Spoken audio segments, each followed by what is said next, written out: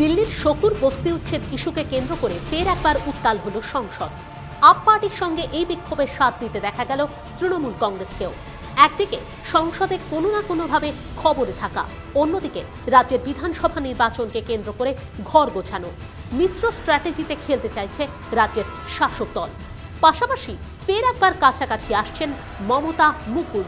কেন্দ্রীয় রাজনীতি এবং বঙ্গ রাজনীতি দুদিক সামলাতে তৃণমূল প্রধানার মিশ্র স্ট্র্যাটেজি কতটা ফলপ্রসূ হবে, জানতে দেখুন আজ সারাদিন ঠিক রাত সাড়ে নটায়।